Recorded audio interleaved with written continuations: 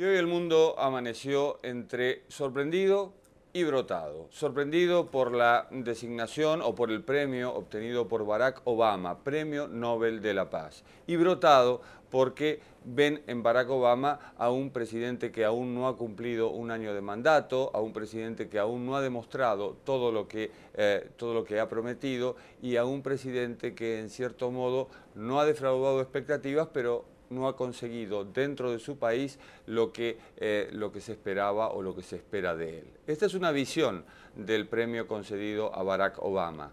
La otra es la razón por la cual Barack Obama ha sido galardonado de este modo.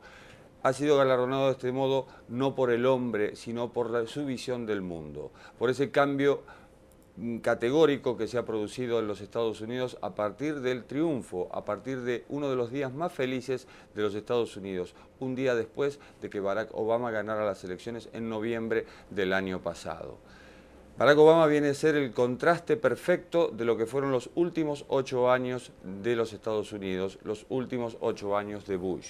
Barack Obama es la multipolaridad, el mundo multipolar frente al mundo unipolar. Barack Obama es el diálogo frente a la guerra preventiva.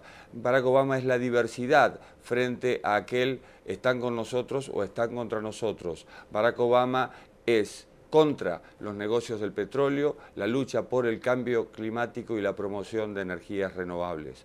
Barack Obama para América Latina, por ejemplo, también es el diálogo con aquellos líderes con los cuales Bush no se llevó bien y otros presidentes tampoco, como puede ser el caso de Chávez, como puede ser el caso de Fidel Castro, apeló al diálogo. Barack Obama representa eso, representa también un mundo sin escudo antimisiles en Europa, eso que tanto problema provocó con Rusia en particular. Barack Obama también representa un mundo sin armas nucleares.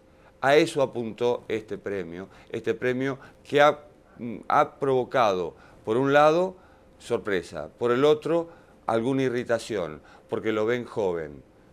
A otros que no, no les han concedido premios Nobel no dejaron de ser quienes fueron. Gandhi no recibió un premio Nobel, Borges en literatura tampoco recibió un premio Nobel. Ni Gandhi dejó de ser Gandhi, ni Borges dejó de ser Borges, ni Obama será nuevo o será otro a partir de hoy que recibió el premio Nobel de la Paz.